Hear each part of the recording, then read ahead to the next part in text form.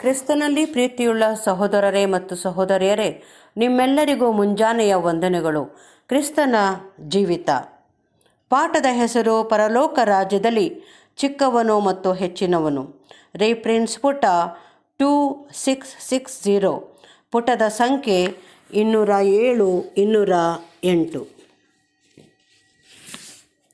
ಅಡ್ಡಿಗಳು, ಪರಿಶೋಧನೆಗಳು ಮತ್ತು ಪರೀಕ್ಷೆಗಳು ಎಲ್ಲರಿಗೂ ಬರಲೇಬೇಕೆಂಬ ಈ ಆಲೋಚನೆಯನ್ನು ಅನುಸರಿಸುವವನಾಗಿ ನಮ್ಮ ಕರ್ತನು ಒತ್ತಾಯಗೊಳಿಸಿರುವುದೇನೆಂದರೆ ಇಂಥ ಒಂದು ಪರೀಕ್ಷೆಗಳು ನಮ್ಮ ಸಂತೋಷಗಳನ್ನು ಇಲ್ಲವೇ ನಿರೀಕ್ಷೆಗಳನ್ನು ಅಥವಾ ಗುರಿಗಳನ್ನು ಅಥವಾ ಸಂಪ್ರದಾಯಗಳನ್ನು ಅಥವಾ ಸವಲತ್ತು ಸೌಕರ್ಯಗಳನ್ನು ಇವುಗಳು ನಮ್ಮ ಬಲಗಣ್ಣಿನಂತೆ ಅಥವಾ ಬಲಗೈಯಂತೆ ಅಮೂಲ್ಯವಾಗಿದ್ದರು ಅಥವಾ ನಮ್ಮ ಕಾಲಿನಂತೆ ಪ್ರಯೋಜನಕಾರಿಯಾಗಿದ್ದರೂ ಇವುಗಳನ್ನು ತ್ಯಜಿಸಬೇಕಾಗುವುದೆಂಬುದು. ಮತ್ತು ನಾವು ಆ ರಾಜ್ಯದಲ್ಲಿ ಸೇರಬೇಕಾದರೆ ಇವುಗಳನ್ನು ಹೇಗೂ ಜಯಿಸುವವರಾಗಬೇಕೆಂದು ಆತನು ಇನ್ನೊಂದು ಸಮಯದಲ್ಲಿ ಹೇಳಿರುವುದನ್ನು ಬೇರೊಂದು ವಿಧದ ವಿಧವಾದ ಮಾತುಗಳಲ್ಲಿ ಹೀಗೆ ವ್ಯಕ್ತಪಡಿಸಿದಂತಿರುವುದು.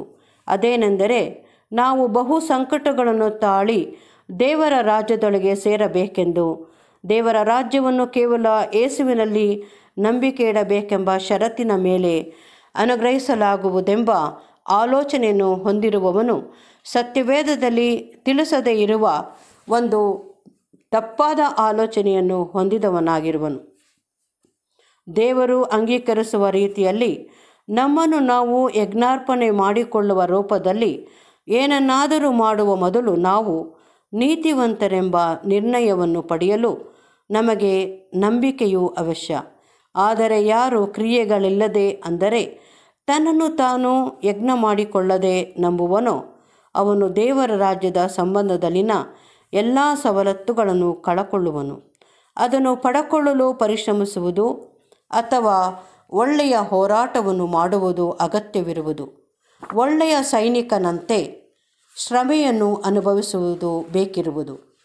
ಕೇವಲ ಪಾಪ ಭರಿತವಾದ ಉಲ್ಲಾಸಗಳನ್ನು ಕಡಿ, ಕಡಿದುಕೊಳ್ಳಲು ಇಚ್ಛಿಸುವುದು ಮಾತ್ರವಲ್ಲದೆ ಕರ್ತನ ಸೇವೆಯಲ್ಲಿ ನಮ್ಮ ಪೂರ್ಣವಾದ ಶ್ರದ್ಧೆಗೆ ಮತ್ತು ಆತನೊಂದಿಗೆ ಸತ್ತವರಾಗಲು ಮಾಡಿಕೊಂಡ ಒಡಂಬಡಿಕೆಗೆ ಹಸ್ತಕ್ಷೇಪ ಮಾಡುವ ಎಲ್ಲ ಸಂಗತಿಗಳನ್ನು ಬಿಟ್ಟು ಬಿಡಬೇಕು ನಮ್ಮ ಪ್ರತಿಯೊಂದು ಕಾಲದ ಅಗತ್ಯತೆಗಳಿಗೆ ಬೇಕಿರುವುದು ದೇವರ ಕೃಪೆಯ ಸಹಾಯ ಪಡೆದವರಾಗಿ ಮತ್ತು ದೇವರ ಶುಚಿತ್ವವನ್ನು ನೆರವೇರಿಸುವ ಸಲುವಾಗಿ ನಮ್ಮಲ್ಲಿ ಉದ್ದೇಶಗಳನ್ನು ಮತ್ತು ಪ್ರಯತ್ನಗಳನ್ನು ಉಂಟು ಮಾಡಲು ಸಮರ್ಥವಾದ ದೇವರ ಅಮೂಲ್ಯವಾದ ಮತ್ತು ಉತ್ಕೃಷ್ಟವಾದ ವಾಗ್ದಾನಗಳ ಸಹಾಯಗಳನ್ನು ಪಡೆದವರಾಗಿ ನಮ್ಮ ನಮ್ಮ ರಕ್ಷಣೆಯನ್ನು ಸಾಧಿಸಿಕೊಳ್ಳಬೇಕು. ನಾವು ದೇವರ ರಾಜ್ಯದಲ್ಲಿ ಕಾಲು ಅಥವಾ ಕೈ ಅಥವಾ ಕಣ್ಣುಗಳು ಕೊರತೆ ಉಳ್ಳವರಾಗಿರಬೇಕೆಂಬುದಾಗಿ ಇದನ್ನು ಅರ್ಥ ಮಾಡಿಕೊಳ್ಳಬೇಕಿಲ್ಲ ಆದರೆ ನಾವು ನಿಜವಾಗಿಯೂ ಅರ್ಥ ಮಾಡಿಕೊಳ್ಳುವುದೇನೆಂದರೆ ನಮ್ಮನ್ನು ಪಾಪಕ್ಕೆ ಸಿಕ್ಕಿಸುವ ಕಣ್ಣುಗಳು, ನಮ್ಮ ಸಹಜವಾದ ಅಭಿರುಚಿಗಳನ್ನು ಸೊಗಸಾಗಿ ರಂಜಿಸಿ ನಮ್ಮನ್ನು ಪ್ರಾಪಂಚಿಕ ವಿಷಯಗಳಿಗೆ ಆಕರ್ಷಿಸುವ ಅಡ್ಡಿಗಳನ್ನು ಸೂಚಿಸುವುದು. ಮತ್ತು ನಮ್ಮನ್ನು ಪಾಪಕ್ಕೆ ಸಿಕ್ಕಿಸುವ ಕೈಗಳು, ನಮ್ಮ ಅತ್ಯುನ್ನತ ಆತ್ಮಿಕ ಹಿತಾಸಕ್ತಿಗಳಿಗೆ ವಿರುದ್ಧವಾದುದನ್ನು ಮಾಡುವುದನ್ನು ಸೂಚಿಸುವುದು. ಮತ್ತು ಪಾಪಕ್ಕೆ ಸಿಕ್ಕಿಸುವ ನಮ್ಮ ಕಾಲುಗಳು, ನಾವು ಪಾಪ ಮತ್ತು ಅತೃಪ್ತಿಗಳಿಗಾಗಿ ನಿಷೇಧಿತವಾದ ಮಾರ್ಗಗಳಿಗೆ ಹೋಗುವುದನ್ನು ಸೂಚಿಸುವುದು.